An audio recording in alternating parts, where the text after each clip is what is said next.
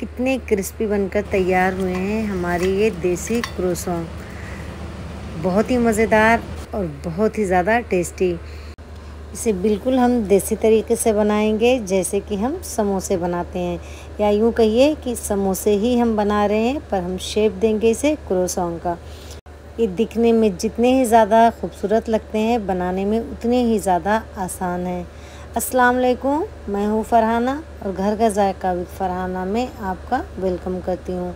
तो चलिए शुरू करते हैं। इसके लिए मैंने आठ आलू ले लिए थे, मीडियम साइज़ के कुछ थे, कुछ बड़े थे। इसे बॉईल कर लिया था बॉईल करने के बाद इसे ठंडा कर लिया था। अब मैं इसे मैशर से इस तरह से मैश कर दूँगी। आप चम्मच से भी कर सकते हैं, हाथों से भी कर सकते हैं, जैसा कि आपको मुनासिब लगे। तो इसे बिल्कुल अच्छी तरह से कर लेना है कि ताकि इसमें गुठलियाँ ना रहें। अब इसमें शामिल कर देंगे हम हरी मिर्च। पंद्रह हरी मिर्च को मैंने बिल्कुल फाइन चॉप कर लिया है। एक टीस्पून भर कर भुना कुटा धनिया डाल देंगे और टू टीस्पून डाल देंगे ज़ीरा और लाल मिर्च को हमने भून कर कूट लिया था। दरदरा पाउडर बना लिया था। एक टीस्पून भर कर नमक शामिल कर देंगे। थ्री फोर टी स्पून डाल देंगे chaat masala half teaspoon डाल देंगे, अमचूर पाउडर। इसकी जगह आप लींबू भी शामिल कर सकते हैं। हरा धनिया डाल देंगे। हरा धनिया आप अपनी मर्ज़ी से कम ज़्यादा डाल सकते हैं। मैं तो हरा धनिया ज़्यादा ही डालती हूँ तो मैंने शामिल कर दिया। अब फिर से सारी चीज़ों को अच्छी तरह से मिक्स कर देंगे, ताकि अच्छी तरह ये मिक्स हो जाए और इसमें कहीं से भी गुठलियाँ ना रहें। आप चाहें तो इसे हाथ से भी मैश कर सकते हैं, चाहें तो चम्मच से भी इस तरह कर सकते हैं। तो मैंने इसका एकदम स्मूथ सा बना लिया। एकदम से आप इसका पेस्ट भी ना बना लें, लेकिन गुठलियाँ बड़ी ना रहें। तो हमारी ये फिलिंग बनकर तैयार है, बिल्कुल चटपटी सी। अब हम इसे रखते हैं साइड में और इसके लिए डो बना लेते हैं। तो हमने तीन कप मैदा ले लिया है, बिल्कुल भर कर भर कर ही आप लें, इतने आलू के लिए तीन से साढ़े तीन कप मैदा जाएगा। और इसमें डाल देंगे एक टीस्पून नमक। और आधा टीस्पून अजवाइन को हाथों से मसल कर आप इसमें डाल दें। तीन टेबल स्पून डाल दिया है ऑयल हमने। इन सारी चीज़ों को बहुत अच्छी तरह से मिक्स करेंगे और हाथों से मसलेंगे रब करेंगे अच्छी तरह से, कम से कम तीन से चार मिनट तक। जितनी अच्छी तरह रब करेंगे, उतने अच्छे हमारे ये समोसे बनकर तैयार होंगे। फिलिंग उसकी उतनी ही खस्ता और उतनी ही क्रिस्पी बनकर तैयार होगी। जिस तरह से आप समोसे की डो तैयार करते हैं, बिल्कुल उसी तरह से हमें इसकी डो बनानी है। अब हमने थोड़ा थोड़ा पानी डालते हुए इसकी डो को तैयार करना है। हम इकट्ठे ही पानी नहीं डाल देंगे कि कहीं ज़्यादा ना हो जाए। इस तरह हाथों से मिक्स करते हुए हम एक अच्छी सी इसकी डो बना लेंगे। और डो बनाने के बाद इसे हमें कम से कम रखना है आधा घंटे के लिए रेस्ट देने के लिए। इससे आपका समोसा बहुत ही ज़्यादा अच्छा बनकर तैयार होगा और बहुत अच्छी सी इसकी डो बनकर तैयार हो जाएगी। तो आटा हमारा तैयार हो गया है। अब हम इस पर ऊपर से लगा देते हैं तेल और इसको हम कवर करके रख देते हैं आधे घंटे के लिए। आप चाहें तो ऊपर से हल्का सा पानी भी लगा सकते हैं या चाहें तो आप तेल भी लगा सकते हैं। आधा घंटा हो गया है। अब हम अपनी डो को चेक कर लेते हैं।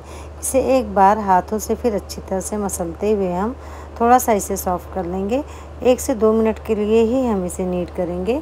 तो देखिए, आटा हमारा बहुत अच्छा सा एकदम बनकर तैयार है। अब हम इसके बराबर साइज़ के पेड़े कट कर लेते हैं। इसकी रोटी हमें बहुत ही ना मोटी बेलनी होती है, ना एकदम पतली कागज़ की तरह बननी होती है, बल्कि जिस तरह से हम समोसे बनाते हैं, उसी तरह की हमें इसकी रोटी तैयार करनी होगी। तो आप एक बराबर के पेड़े तैयार कर लें इसके। तो इतने आटे में देखिए हमारे जो है सात पेड़े बनकर तैयार हुए हैं। थोड़ा सा मैदा लगाकर हम इसकी चंगेरियाँ बना लेंगे। इससे क्या होता है कि रोटी बेलने में बहुत आसानी हो जाती है बहुत जल्दी हमारी रोटी तैयार हो जाती है।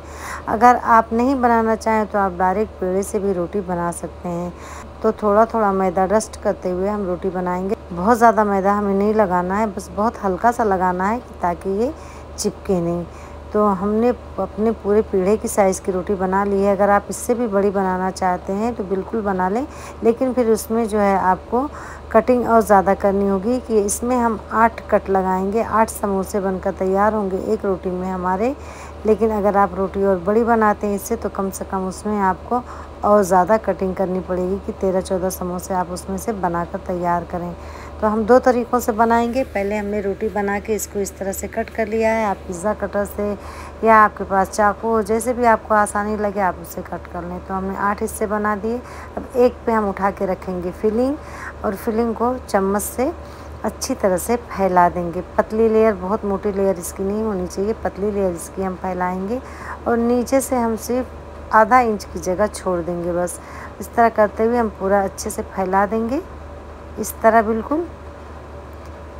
तो अब हम इसको इधर से उठाएँगे और हल्के हाथों से इसे फोल्ड करते जाएँगे, बिल्कुल इस तरह से घुमाते हुए।